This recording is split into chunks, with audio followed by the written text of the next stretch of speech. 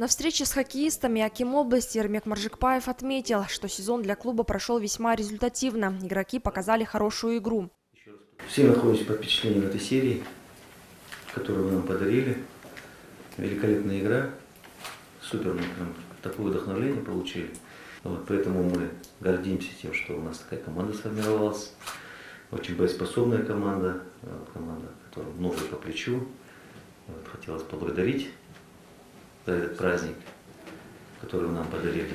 Конечно, хотелось бы сегодня отметить наших болельщиков, которые, к сожалению, несмотря вот на, э, на все ограничения, они не попали на стадион, но вместе с этим все переживали. Для Орлана завершившийся сезон начался не совсем удачно. Травмы получили пять ведущих игроков клуба. В результате пришлось изменить тактику игры. Сергей Берников, возглавивший тренерский штаб команды, в середине сезона выстроил новую систему работы команды. На встрече с Акимом области главный тренер озвучил ряд новых предложений. Ну и вот э, как бы, чтобы продлить это, да, нам кое-что нужно тут к следующему сезону подделать, подладить, чтобы уже как сказать, никуда не выезжать на сборы, а именно в клубе ну, были условия там маленького.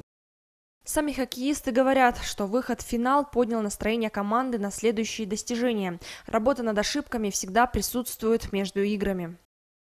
Начали мы, конечно, как говорится, запинались понемножку, но э, встали на ноги и, как сами знаете, уже дошли до финала. Вот. Немножко не хватило нам в финале выиграть. Все было по силам. Но я считаю, этот э, сезон можно и городу, и команде Орлан можно занести в актив. Э, очень много выводов сделаем в любом случае.